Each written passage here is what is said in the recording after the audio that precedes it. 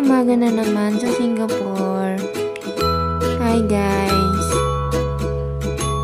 Good morning. Ako nga pala si Marty, OFW sa Singapore. 3 years na po, wala pa ring ipon. Hi. Nakakatamad tumayo. Saturday nga pala. Kailangan ko palang naglinis pala ng electric muna ako ng aking kwarto. Today, wala ang aking amo kaya malaya ako sa aking oras. Ayan, magbabanyo muna ako. Siyempre, ito, linis muna tayo ng ating mga face. Kaya pa ginagamit ko.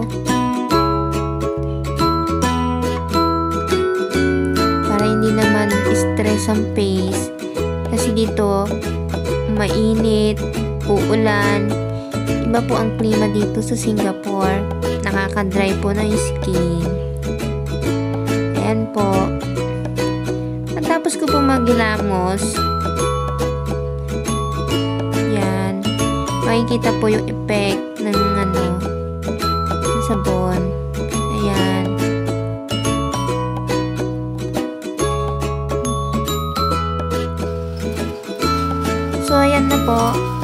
na po maglinis ng ceiling fan. Yan. Ang hirap maging OFW. Kailangan talaga sipag at tiyaga. Tiis. Kahit mahirap, titiisin mo. Kahit na malungkot, isikapin mo talagang matapos ang isang araw.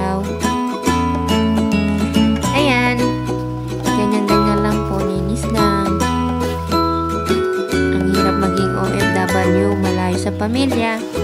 Kailangan mo magtiis para sa mga anak mo. Hindi biro. Mawalay sa kanila. Kahit na pagod na pagod ka na, kahit nagkakasakit ka, walang pahinga. Hindi ka pwede magreklamo. Kasi, nandito tayo para magtrabaho. Hindi para magpahinga. Hindi para mag mag day off. Maggala. Nandito tayo para kumita ng pera. At kailangan natin mag-ipon kasi kailangan natin mag-ipon para pagtanda natin meron tayong makukuhanan. Hindi habang buhay OFW tayo. Hindi habang buhay magpapaalipin tayo sa ibang bansa. Kailangan natin mag-ipon para pagtanda natin hindi tayo mahirapan. Kasi pagtanda natin, sino ang ah, lalapitan natin? Hindi naman tayo nakakasiguro sa ating buhay, sa ating sarili. Kailangan talaga natin magsikap.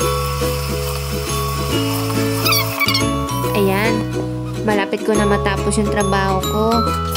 Umaya mag-aalmusal na ako, mag-prepare na ako ng aking breakfast.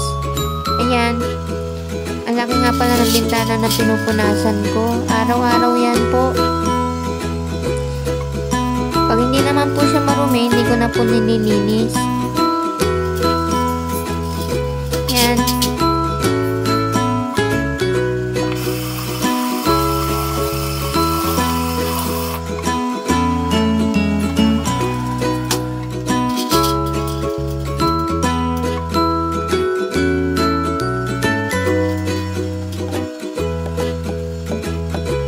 Nila, pag OFW ka, mayaman ka.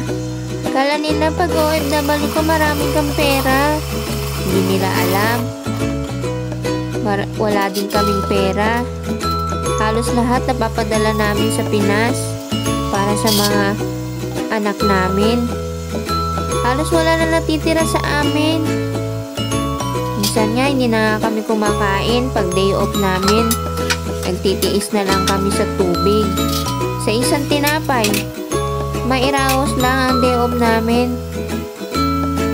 Kahit na hindi na kami kumain ng tanghalian, kahit hapunan na lang, Basta meron kaming pang top up sa bus at load.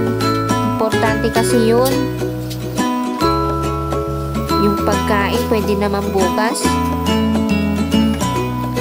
Ang hirap talaga magsakripisyo pag malayo talaga sa pamilya. Hindi nila alam yung mga ginagawa mo dito. Kala nila, madali lang. Kala lang nila, puro, say, puro, puro sarap. Ganun ba? Hay buhay. Kailan kaya tayo yayaman? Yung hindi na tayo magtatrabaho? Ito nga, natapos na ako. Magkakape na ako. Init ko na yung pagkain ko para sa mamayang tanghali. Ayan. Ay.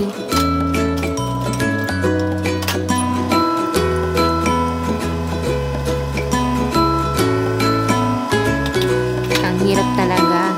Pag wala kang walang nakakaintindi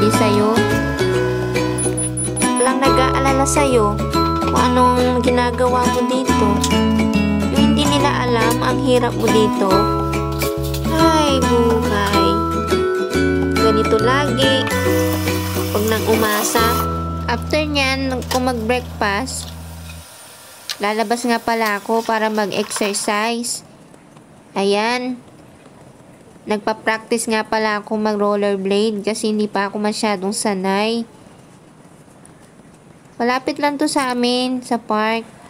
Ayan, practice-practice lang hanggang matuto. Hi guys, sa next video ko, tuturuan ko kayo paano mag-aral ng rollerblade. Okay guys, hanggang dito na lang ang aking video. See you next my vlog again. See you guys. Thank you for watching my vlog. Don't forget follow me.